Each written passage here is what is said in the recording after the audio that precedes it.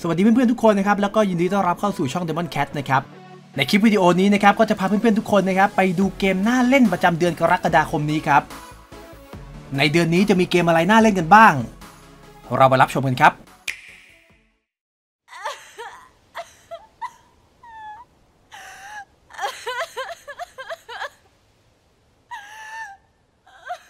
This was his fate.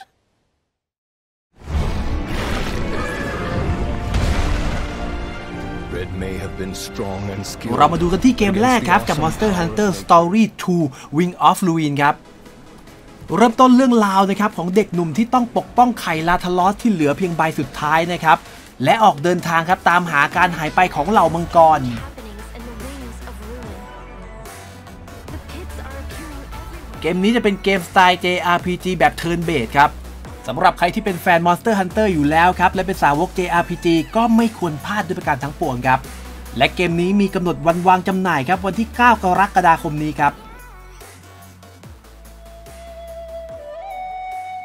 This is the beginning of the legend of Zelda, the ancient tale of a time long past, and the origin of the legendary blade, มาต่อกันกับเกมที่ 2 ครับ กับ The Legend of Zelda Skyward Sword HD นั่นเองครับ กับเรื่องราวต้นกำเนิดของ The Legend of Zelda ครับ ในภาคนี้ครับก็ถือว่าเป็นภาคที่เป็นจุดเริ่มต้นของเรื่องราวทั้งหมด ในจักรวาลของ The Legend of Zelda ครับ เมื่อราชาแห่งความมืดครับที่มีนามว่า Demise ต้องการที่จะครอบครองพลังแห่ง Triforce ครับ จึงจับเจ้าหญิงเซลดาครับหวังที่จะยึดพลังนั้นเอาไว้เป็นของตัวเอง จึงเป็นหน้าที่ของปีเตอร์แพนครับที่ออกหึเดี๋ยว จึงเป็นหน้าที่ของลิงค์ครับที่ต้องออกตามหาและช่วยเจ้าหญิง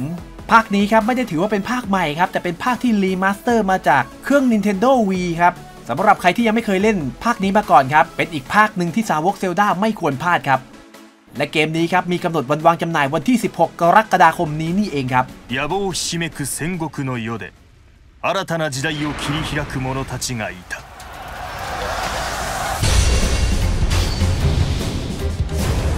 มาต่อกันกับเกมที่ 3 ครับ กับ Samurai Warriors ภาคที่ 5 นั่นเองครับ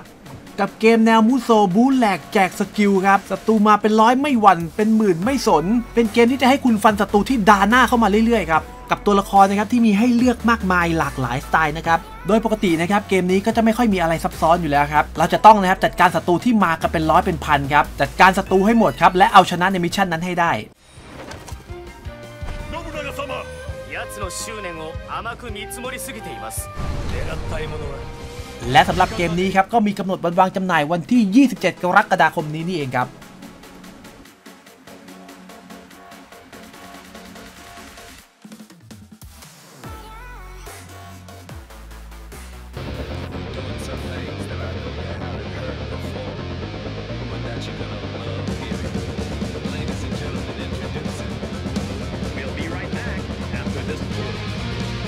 มาต่อกันกับเกมที่ 4 ครับ กับ The World End With You ครับ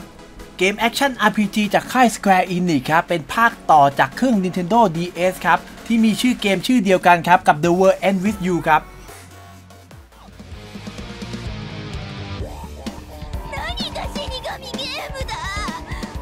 เรื่องราวของเด็กหนุ่มครับที่ต้องเอาตัวเองครับไปพัวพันกับเกมที่มีชีวิตเป็นเดิมพันครับ ตัวเกมมีการนำเสนอภาพแบบอนิเมะครับ ที่จะทำนะครับให้เรารู้สึกเหมือนดูอนิเมะเรื่องหนึ่งกันเลยทีเดียว และเกมนี้ครับมีกำหนดวันวางจำหน่ายวันที่ 27 กรกฎาคมนี้นี่เองครับ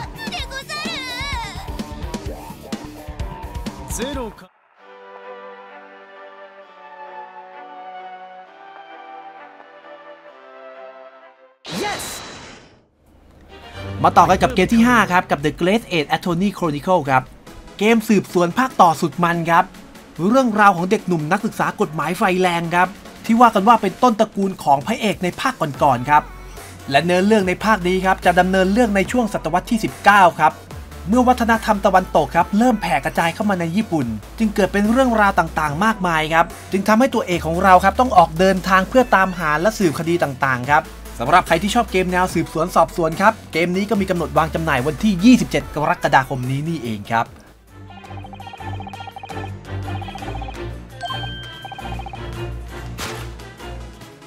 วันที่ 27 นี้ครับก็มีเกมที่น่าสนใจออกพร้อมกันถึง 3 เกมกันเลยทีเดียวครับ เอาละฮะในคลิปนี้คุณผู้ชมสนใจเกมอะไรกันอยู่ ก็คอมเมนต์พูดคุยกันได้ที่ใต้คลิปเลยครับก่อนจากกันไปนะครับก็อย่าลืมกดไลค์กด Subscribe กันไว้ให้ด้วยแล้วกันนะครับสำหรับคลิปวิดีโอนี้ต้องขอตัวลาไปก่อน ขอบคุณที่เข้ามารับชมครับ